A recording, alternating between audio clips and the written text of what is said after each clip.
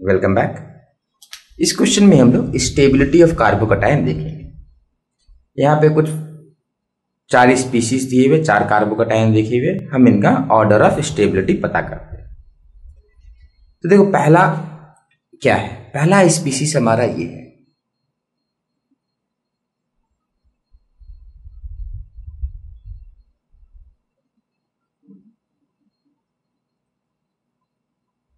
ये हमारा पहला स्पीशीज है। सो देखो ये बेंजाइल कार्बोकटायन है। क्या कार्बोकटायन है? बेंजाइल कार्बोकटायन है। अब देखो इसका जो प्लस चार्ज होता है मतलब एक वेकेंट पी ऑर्बिटल होता है। ये जो वेकेंट पी ऑर्बिटल होता है, या प्लस चार्ज होता है, ये इस डबल बॉन्ड से इंटरेक्ट कर सकता है।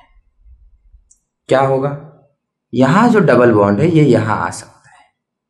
और इसका रेजोनेटिंग स्ट्रक्चर बनेगा। क्या बनेगा? इसका रेजोनेटिंग स्ट्रक्चर ये बनेगा।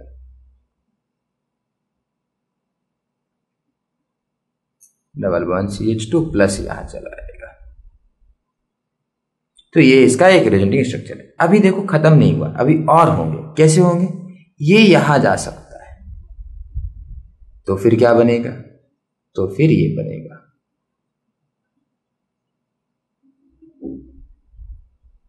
अब यहाँ डबल बॉन्ड आएगा और यहाँ प्लस चार्ज आएगा। और ये वैसे का वैसे रहेगा। तो हम लोग क्या देख रहे हैं कि इस वाले में रेजोनेटिंग स्ट्रक्चर्स हो रहे हैं। तो हम लोग बोलेंगे they are stabilize by resonance resonance ठीक है? They are stabilize by resonance ठीक है? किसका रेजोनेंस है? बेंजाइल से रेजोनेंस है सो बेंजाइलिक रेजोनेंस के कारण ये कार्बोकटाइन स्टेबलाइज्ड है। अब अगला देखते इसके पास कौन सी स्टेबिलिटी है? देखो, इसके पास ये वाली स्टेबिलिटी है। ये कार्बन प्लस है।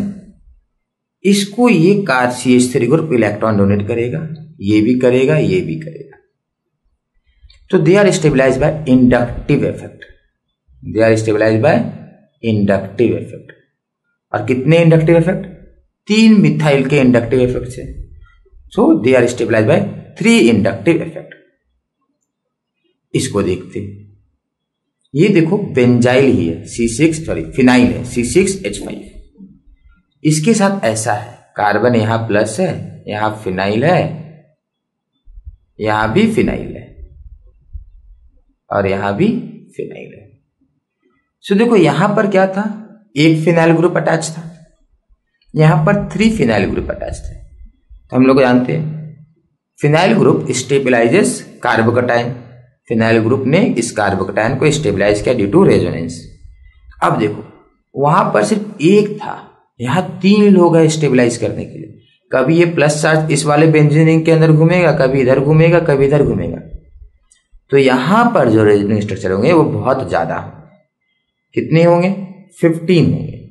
ठीक है? यहाँ पर फिफ्टीन रेजोनिंग स्ट्रक्चर होंगे। यहाँ पे सिर्फ़ फाइव रेजोनेटिंग स्ट्रक्चर है। आप अगर ड्रॉ करेंगे नंबर ऑफ़ स्ट्रक्चर तो यहाँ आएँगे फाइव रेजोनेटिंग स्ट्रक्चर यहाँ कितने आएँगे? यहाँ तीन रिंग है तो यहाँ फिफ्टीन हो गए। यहाँ यहाँ देखिए, यहाँ दो रिंग है। यहाँ दो रिंग है। एक इधर एक इधर तो यहाँ कितने स्ट्रक्चर हो गए? टेन रेजोनेटिंग स्ट्रक्चर हो गए। तो मोस्ट स्टेबल कौन हो जाएगा? सी हो जाएगा because of fifteen resonating structure फिर फिर डी हो जाएगा because of ten resonating structure और ये, फिर ये हो जाएगा। ये लास्ट में क्यों होगा? रेजोनेटिंग स्ट्रक्चर से stabilization will be more than inductive effect stabilization resonance effect is stronger than inductive effect इसलिए इनके कंपैरिजन में ये लास्ट में आएगा। तो क्या हो जाएगा order C will be maximum stabilized, then D will be, then A, and last will be B. More is the resonance, more is the stabilization. ये एक जनरल रूल है तो यहाँ पे हम लोग देखें 15 है यहाँ 10 है यहाँ 5 है यहाँ इंडक्टिव इफ़ेक्ट है इसलिए ये ऑर्डर आएगा